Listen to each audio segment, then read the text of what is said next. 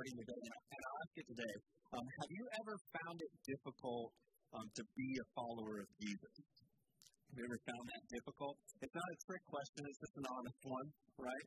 One that, one that I felt um, plenty of times. In the middle of the trials and hardships of life, all of us can struggle to hold on to hope or hold on to purpose or hold on to joy. And if you're like me, sometimes life can get a little chaotic or overwhelming or painful or maybe just sometimes so freaking distracting, right? That when it comes to being a follower of Jesus, it isn't just difficult. Sometimes I throw my hands up and go, I, I don't even know if I know how to do this, right? I, I don't know if you've ever felt that way.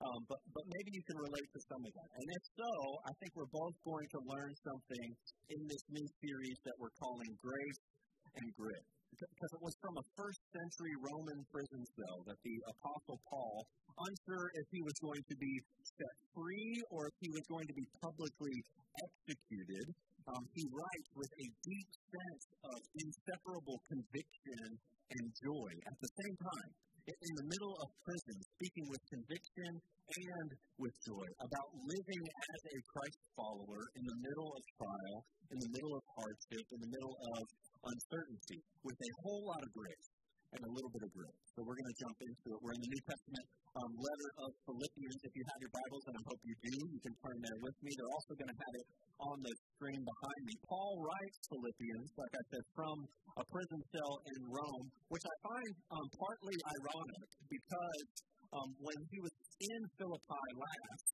he and another guy named Silas were actually arrested and thrown in prison. Like this is kind of a regular thing for him, it turns out. So like as he's in that prison cell, I imagine him being maybe a little sentimental and being like, oh, this reminds me of the last time I was in Philippi. I'm going to write to those guys. And he was in prison for a disturbance that he caused in the city as he was sharing the gospel, uh, and people began to follow Jesus. If you're interested to read about it, it's in Acts chapter number 16. Um, and, and I, I think I'd like to take a second, though, right out of the gate to clear up maybe some misconceptions when we think about um, maybe the type of people um, Jesus and his disciples, and even the type of person Paul was. Uh, because a lot of times we have pictures. I think even our series graphic has like an old, like grizzly guy, like writing on something. Right? We have all these um, ideas of what these people might look like, misconceptions. I want to I want to make it really clear. Like these guys were outlaws. Like Paul was like in jail a lot. Jesus um, spent a lot of his time um, dodging the authorities. But a lot of times you see pictures of Jesus and he's this guy with like milky skin and like straight hair that was used a flat iron that morning. You know that's what that's what he did. He had nice rosy cheeks.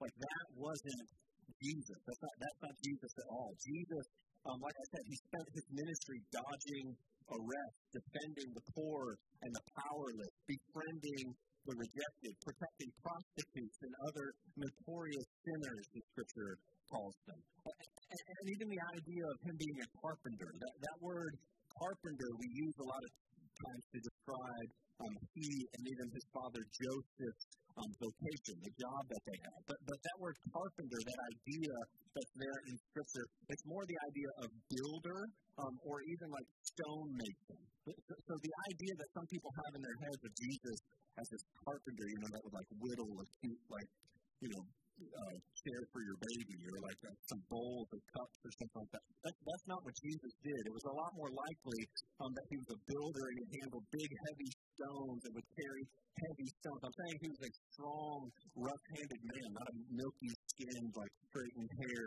kind of guy. Um, he would have stood out, is what I'm saying. He would have stood out among the other rabbis of his time. Like he didn't choose fancy, educated students of the law as his followers. He chose working men. He chose fishermen, tax collectors, rebels, fighters, unqualified men from unknown families. Right? They would have looked very different than a lot of other students following around their fancy dressed rabbi. Right? Most churches would be hesitant to even let them in, or if they walked in, like they'd be like, "Hey, come on, volunteers, keep an eye on these guys as they walk. Make sure they don't cause any trouble." Right? And, and Paul started off the polar opposite. He was educated and respected. He was from a good family. He was zealous. He was perfectly behaved. He was articulate. he was probably more manicured and, and, and better dressed and probably better looking than the other guys. But, but then he met Jesus, and that totally turned around for him. So if you were hoping following Jesus would make you like better looking and all these other things, that's not exactly how it happened in the first century. He met Jesus, and his whole life, Paul ended up enduring brutal beatings and stonings and shipwrecks and multiple imprisonments, right? Because of his faith in Jesus, faith that he shared and that he said in Galatians, remember our series in Galatians, he says, I bear in my body the mark to prove that I belong to Jesus. I, am saying that these men, when, when we're talking about Paul, when we're talking about Jesus and his disciples, they're not harmless, perfect, soft boys that they're portrayed as so often. And it was from a cold, dingy prison cell that Paul writes this letter in Philippians 1, verse 1. We're going to start reading. He says, Paul and Timothy, servants of Christ Jesus. Now, I told you before, Paul and Silas. But like, if you hung out with Paul, you went to jail sometimes. That's basically what happens. So he said, Paul, so be careful if you want to hang out with me sometimes. So it's Paul and Timothy, servants of Christ Jesus, to all God's holy people in Christ Jesus at Philippi, together with the overseers and deacons. Remember, he's in prison, so the next word he says is, Help! Poor me! Right? That's what, that's what he says. No, no, that's, that's, that's not what he says at all. That's not his mindset. He doesn't view himself as a victim. Right? And that's something that I think is pretty prevalent in our culture. There's a lot of people who like to paint themselves into a, a victim role and say, look at me. And it's because the culture that we have is so like um, law based, right? It's justice based. So, so, you're either a perpetrator or a victim. Like that, that's how culture shapes everything. That's not how Paul thought of, thought of himself here. He used a really radical word in verse number two. He says, This is his greeting grace and peace to you from God our Father and the Lord Jesus Christ. I thank my God every time I remember you in all my prayers for all of you. I always pray with joy because of your partnership in the gospel from the first day until now. Verse 6 Being confident of this, that he who began a good work in you will carry it on to completion until the day of Christ Jesus. This is the foundational belief that this entire letter is written on. This statement right here, that he who began a good work in you will carry it to completion. That God finishes what he starts, period. God always finishes what he starts. If he started something in you, come hell or high water, he will finish it. We're going to see in this story that even a jail cell or a death sentence cannot stop what God wants to do in you and through you. And maybe if you're like me, that's where um, this whole thing kind of the wheels start to fall off a little bit, right? You're like, well, I I really struggle sometimes. I, I have I have pain and doubt. I have a lot of stuff going on in my life, and that's really nice to say, but sometimes the wheels kind of fall off. I, I mean, to imagine the grit it takes to have this type of confidence sitting in a prison cell. I was doing this study uh, in our house church, and I told the guys, I was like, man, if I was the Apostle Paul, I would think I sucked as an apostle. I was the worst one. All I do is I get beat up and I get thrown in jail over and over and over again. I must be bad at being an apostle, right? And maybe you identify with that. Um, I have that feeling a lot of times.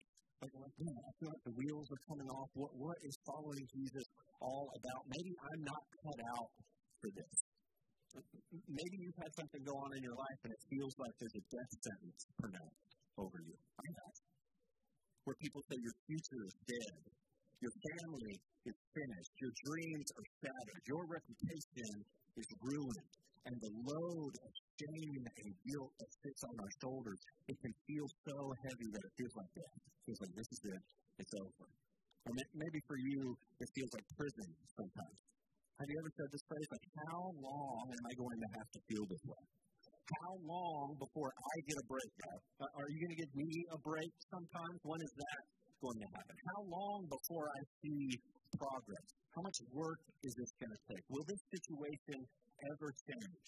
Maybe it's this. I, I, I know I screwed up, but am I going to have to stay stuck in this hell of a prison until I die? Is this it? But I understand, I, I want you to hear this. I understand the deep pain and despair that comes from hardship and trials of life. And I understand the tendency to try to pretend like everything is okay when you come to church, right? That that's the tendency is I have to pretend like everything is fine, everything is okay. I have to pull it all together and act like everything is great. It feels like it's only you that's in prison. It feels like it's only you with the death sentence. And, and that can feel gross when you're sitting in a church service and everybody's smiling, like their life is going together, and you're like, mine is not.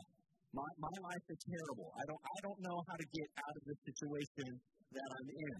And, I, I wonder if that might be the reason why so many of my generation kind of walked out of the church and never bothered to come back, not interested. Because it seems too safe. Seems like it's not real. Right? I want you to watch this. What produced in Paul that grace driven gratitude and joy in the middle of trial and hardship was not his confidence that he was going to finish what he set out to do. That's not what produced the gratitude and grace filled joy um, that was in Paul. It wasn't that he had the confidence that he was going to figure out how to finish what he started, it's that God was. Not that he had within him the strength of will or the ability to bring the plan about, but it was grace fueled grit that we're going to see again and again and again in this series that God finishes what he starts. And if he started something good in you, you can't outsin God's purposes for your life. You can't outsin God's grace. You can't outfail God's grace for your life. When God when God calls you his, you're His. And it's not finished until He says that it's finished. What that confidence, not in yourself, but in God produces in you, is that grace driven gratitude and joy no matter the circumstances. And I hear myself talk sometimes. You, you might relate to this. I hear myself talk sometimes, and, I'm, and I can think, like, Brian, are you grateful for anything? Like, like, do you have gratitude for anything in your life? Do you have joy at all? I hear myself talk, and that's what it sounds like. Again, I just want to quit and say, like, what is all this for, anyways? If, if, I, if I'm not going to be grateful, if these things keep on happening to me, if these things keep stealing my joy, what is all this for? Right? But, but on the brief occasions when I can be reminded that it's not my effort, that, that it's not my effort that's going to get me through. It's grace fueled grit that He's not giving up on me, and I'm not going to either. There is no jail cell. There is no prison sentence. There is no death sentence that can stop God from finishing what He started in you. Verse number seven. He says, It's right for me to feel this way about all of you. Um, I think he says that because sometimes, if you're like me, you're like, I don't know if he's right about that. he goes, No, it's right for me to feel this way about you. Since I have you in my heart, and whether I am in chains or defending and confirming the gospel, all of you share in God's grace with me. Because God can testify how I long for all of you with the affection of Christ Jesus. Look at those phrases. He says, All of you share in God's grace with me. God can testify how long, um, how I long for all of you with the affections of Christ Jesus. What Paul is saying is this journey is not to be done alone. But you do not get to the finish line by yourself on this journey. Listen, you are as alone as you want to be. I, I know that's hard to hear when you feel alone. When you're feeling alone, you're like, well, no one wants me, no one likes me. I'm just going to tell you, like, this might be some hard medicine. You are as alone as you choose to be. it, it is scary. It is a scary thing to allow other people to see you. Here's why. But why is that so terrifying? It's because our experience tells us that we're going to be judged, right? We're going to be judged, and we're not going to measure up. For, for a lot of people, church is like the least safe place to be seen, right? Like this is the least safe environment for me to be seen, for me to have relationship and connection. This is the least place, the least safe place. I, I can tell you this. Like for me, my experience has been um, pastors, like people who lead in ministry, they're the least safe group for me to have friends with. Like, that's the least safe group of people to be with, right? But because you better not, you, you better not mess up. Right? You, you, you better not open up to someone. You better not let someone know that you're struggling. You better not let anybody know that you sin. But, and, and if we feel this way sometimes, how in the world did the early church get past this? How in the world did they navigate through this if we feel this way in this culture that's kind of like Christianese, right? Where like everybody goes to church, everybody, grandma's a pastor, right? Especially in Pensacola, there's churches on every corner. If we feel this way, how in the world did the early church get past this?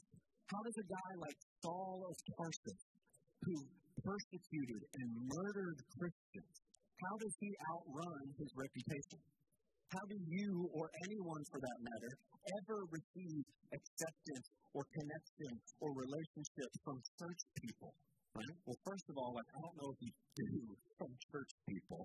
Right? I don't know if that really happens. But followers of Jesus can say the same way Paul did. And it's what he says in verse number seven by sharing in God's grace with me. What he looks at this group, he's writing to this group of people, and he goes, You all have shared in God's grace with me. How do I find a safe place to not be alone on this journey? You share God's grace. That's how you do it. You extend the affection of Christ Jesus. Like, I am serious when I say the only chance that I have, the only chance that you have to not be alone in this is to share in God's grace with others. Like, hear, hear me when I say this. You don't have to perform to be on this journey with me. Like, like you, you don't have to be perfect.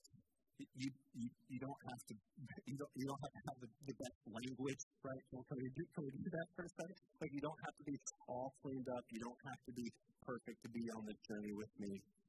You don't have to impress me.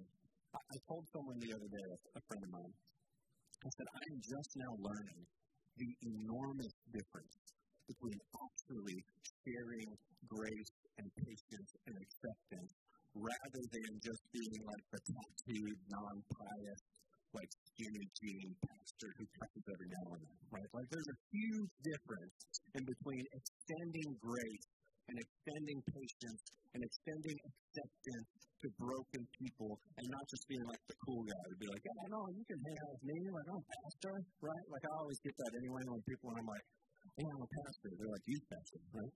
I'm like, no, but okay. There's some young people there, I guess. like, what I hear all the time. Like, you don't have to be perfect. You don't have to impress me.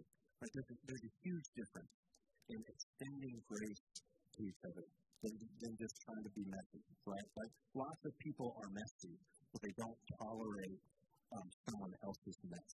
There's a quote from C.S. Lewis that I read this week that I thought went perfectly um, with this point and what Paul is saying. He says, To be Christian means to forgive the inexcusable, because God has forgiven the inexcusable in you. I think I have it up on the screen. Jesus, to be Christian means to forgive the inexcusable because God has forgiven the inexcusable in you. This is sharing God's grace. This is the affection of Christ Jesus we should long to share with one another. And then, and then Paul says this in verse number 9. He says, And this is my prayer, that your love may abound more and more in knowledge and depth of insight, so that you may be able to discern what is best and may be pure and blameless for the day of Christ, filled with the fruit of righteousness that comes through Jesus Christ to the glory and praise of God. So, so I'm going to agree with Paul and say that this is my prayer for me, and this is also my prayer for you. But I, but I want you to pay attention to the words that he uses right? Because so many Christians, so many churches, when they think about knowledge and they think about insight, they think it comes from fancy vocabulary, right? Or, or like deep, thick doctrinal studies. And I don't think that there's anything wrong with like trying to understand like doctrine, like, like, what, what do we believe as Christians? I think that's good to do. I don't think there's anything wrong with having like fancy, like articulate theological language, but that's not where knowledge and insight comes from, or at least that's not what Paul thought. That's where knowledge and insight comes from. Right? Knowledge and insight come from a deep, deep love. That's what he says in verse number 9. He says, This is my prayer, that your love may abound more and more in knowledge and depth of insight. Right? And, and then I hear people say this all the time. Like, I, I don't know the right thing for me to do in this situation. Like, hey, I'm really struggling knowing what the correct thing for me to do is here. And, and I get this. Like, I, I feel this way. I, I feel trapped sometimes, like by not knowing what the right decision is. It, it can be paralyzing when you're in a circumstance, when you're in a situation. Maybe it's a relationship, maybe it's like your future, a big decision. Maybe it's like your kids are going crazy, whatever it is, and you're like, I just don't know what the right thing to do is, right? But because I don't want to mess up, but, but because I don't want to make the wrong choice. Like, like it talks here, like I, I would love to be pure and blameless, like he says what I need isn't like this, this uh, let me read a bunch, let me, let me do all this study. And I'm not saying like like studying bad or anything like that, but to simplify it so you understand. Like sometimes you miss the forest for the trees. What you need is love. You need abundant love. A question that you ask yourself a lot of times isn't like, man, what's the right thing for me to do? Probably this. What does love require of me in this situation? I get so focused on like, man, what should I do? How should I? What does love require of me in this situation. And I, I want to be filled with the fruit of righteousness, like we talked about. But that's a good thing, to be filled with the fruit of righteousness. But it doesn't come through my performance.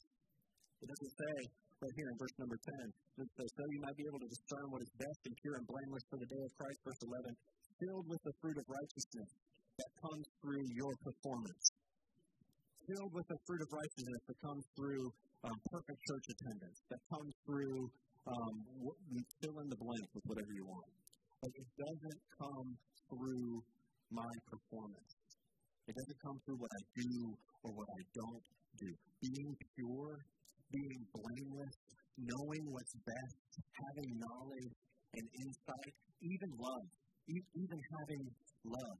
None of those things come from inside of me. None of those things come from inside of me. They are not produced with my performance, not from my effort, not from my confidence in me. All of it. Every ounce of the life that I long for, every ounce of what I hope to one day become is grace. And that's what we're going to dive into in this series grace fueled grit. Because listen, it takes grit to hold on to that. It takes grit to hold on to that the entire world, our whole culture is organized against that. It says perform, do, act, right? Hustle, grind. And I get it. Like you, you should work hard. You should do things that provide for your family. You should work hard. That's good. But there's got to be something when it comes to my identity that isn't based on my performance, that isn't based on my hustle or my grind. Why? Because that comes and goes, man. You have one life event, and all of a sudden, all your hustle and all your grind that your whole identity is built around, it's completely ruined. There has to be something else that you hold on to. Culture says that there's not. That's all you get. But what you're wrong? What, what if all of that is so wrong? Listen, I'm not the only one. You're not the only one who is in need of grace. Everyone, everywhere is in need of grace. I'm going to ask Brandon to go ahead and come up. One night, in a cold jail cell in Philippi, I told you Paul and Silas were locked up. And it says as they were in there, they were actually singing. That's a weird thing to do in jail. Maybe it's not. I've never been to jail. So it might be a totally normal thing, actually. Uh, no, I just now had another thought. But they're sitting there, they're singing in jail, right? And all of a sudden there's a big earthquake right? And, and as the earthquake ends, it turns out all the cell doors are swung up, swung open, and everyone's chains are broken, so everyone can be set free, right? And the Roman jailer is about to kill himself in this story. You can read about it in Acts 16. He's about to kill himself because he thought he had failed. He thought that the shame and the punishment, he was so convinced that it was going to happen, that he'd receive for his failure, that it was so great that the only solution was to end his life. And then, out of the darkness, Paul says, Don't do that. Don't do that. We haven't gone anywhere, what he says. And the, and the jailer's reaction is he comes and is trembling. And his reaction to him not leaving the prison was, What must I do to be saved? What. Must I do to be saved? As I was reading that story this week, all I thought was like, Brian, maybe don't be in such a rush to get out of this. It was the fact that Paul and Silas stayed in the jail cell. Even though the door was open, even though their, their things were on, they could have got out of there as fast as they. I thought, maybe don't be such a hurry to get out of the jail cell. Because God gives you the grace and the grit to keep going, but also because maybe, maybe there's someone that's watching you, watching you that needs what you have. Maybe that's the And so with your heads bowed and eyes closed, I want to encourage you. What Paul told the jailer when he said, What must I do to be saved? He gave him a simple answer. He said, Believe. Not a list of do's and don'ts. Either the grace of God has the power to save you and transform your life, or it. Everyone, everyone needs it. And they get it when we see it. They take a whole lot of grace and a little bit of grit. I want to ask you this morning, like, what has God started in you that He wants to finish? Maybe, maybe you're not certain He started anything. I, I know this. He would love to start a relationship with you. One that's not based on your performance. One that's not based on religion. But it's purely based on His love for you. The fact that He has grace, grace, and more grace for you. You say, what do I do? I got tell me, tell me what must I do to have that relationship? Same thing Paul told the jailer. Believe.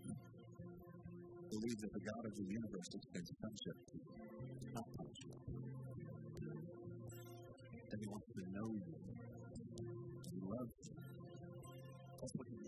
To start in you today. You don't have one. To some of us in the room, who are followers of Christ. The question I struggle with is, man, it can be difficult sometimes. I feel like I'm trying and trying and trying. I want to encourage you. It's not grace or grit. It's grace and grit. It's grace fueled. Culture says it's either grace or it's grit. One of the two. I got to choose which one I'm going to do. No grace and grace fueled prayer. To be a Christian is to forgive the inexcusable. God forgave the inexcusable in me. And I want to encourage you to share that love. Let it abound more and more among us and to the people around us. So thank you for your word. Thank you for this letter that was written in a jail that made its way to us. And it teaches us to lean not on our own performance, but even in the midst of trial and hardship, and you're right here with us, extending grace and love and purpose and joy to God to see those things. I wish you would give us clarity, even in our hardship, even in our difficulty, to pursue from only you. Oh, we love you, we worship you, we pray this in Jesus' name. Amen. Amen. We have to stand and worship you.